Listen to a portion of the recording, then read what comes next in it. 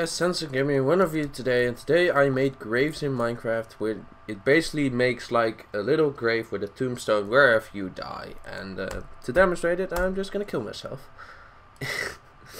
and there you go, it's a little grave, it says grave above it, you've got a little tombstone here, little, yeah, just a little grave. Uh, doesn't really have much of a use, sorry, use, it doesn't like uh, get you, give you your items back, put them in a chest. That could be an optional thing to make, could be way more hard because right now it's a pretty simple system.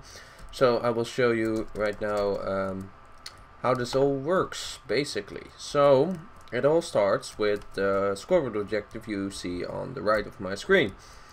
It's basically constantly showing my health. Right now I've got 20 health which is 10 hearts or 20 half hearts.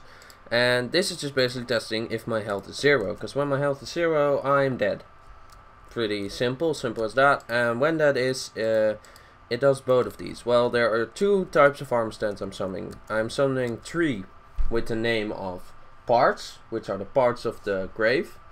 And one that is called grave, which actually has the custom name visible. That's why it says grave above it. And uh, the one it summons all the other parts relative to.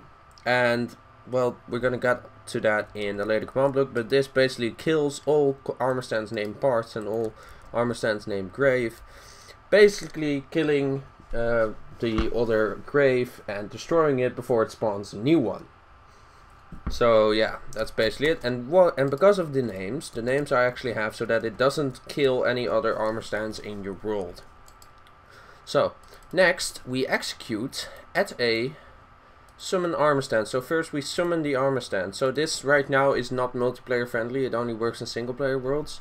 It could be made multiplayer friendly if you added a scoreboard that sets your score to 1 when you're dead and 0 when you're alive so that it only um, it only summons the grave at the person with a score of 1 and then it uh, set your score back to zero when the grave is summoned. You could do that kind of stuff, but right now it's just a single player system, only works in single player. If there's more than two players in the world, it will summon the grave at both of them, even if only one of them dies. That's probably what will happen.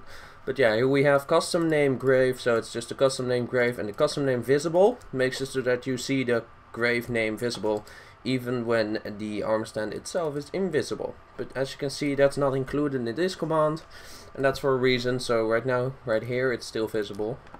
Uh, that's why when you die, you really shortly see this armor stand appear. That's that one. Next, we have execute at e name is grave. So we're not even specifying armor stand because we only have one entity named grave in this world. Uh, we are executing at that grave command, uh, armor stand, I mean. We are summoning another armor stand with equipment. Uh, it has a stone slab on its head slot. So we have the equipment right there. You have to have the five curly brackets, even if the other ones are empty. Because otherwise it won't know that you're me. Uh, well, this is supposed to be on his head and it won't work. And next we have a head pose. The pose is rotated 90 degrees in the x direction.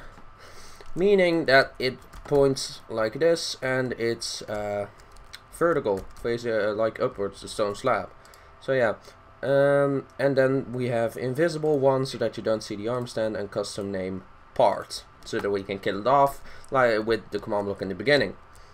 So yeah that's also why the stone slab is smaller they're all on armor stands. And then I have two the exact same ones. This one has a rotation of 180 degrees basically so that it's closer to the ground because get it is slightly floating getting it exactly on the ground just wouldn't work. I just couldn't uh, get it like that. But yeah this one's basically the same but it has a equipment and then the stone pressure plate. As you can see the these coordinates I can get pretty uh, specific to get it right and then I have the stone pressure plate on top of there. It's invisible and the pose of the head is 180 degrees so that's close to the ground.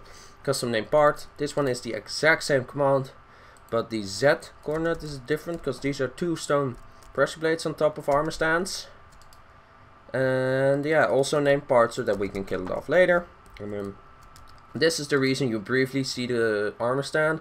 When that's all done, it makes the uh, Grave armor stand invisible. Now, why not just summon it invisible? Because for some reason that was really messing with the system. and it wouldn't summon the armor stand at all or it just wouldn't become invisible it's really weird I don't know what the problem was but that seemed to have fixed it so as far as I know this system works uh, yeah and why I went in the game mode 3 here so that you can see the armor stand armor stands. So yeah you see these two here with a 180 degree head head rotation because otherwise the snow slab would about, be about here. You can see that it is slightly floating. I couldn't seem to fi quite fix that. And then you can see this armor stand with uh, the head rotation as well and the grave armor stand. So yeah that's basically armor stands in Minecraft. Uh, hope you enjoyed the video and all the commands will be in the description. Um, I was also trying to make a snapshot video some weird stuff happened but yeah uh, there will be another snapshot video I was actually planning to record that before this but the things turned out otherwise. Gonna record that next, gonna be up as well. Short and little snapshot video. And uh, hope you enjoyed the, the video, and I'll see you guys in the next one.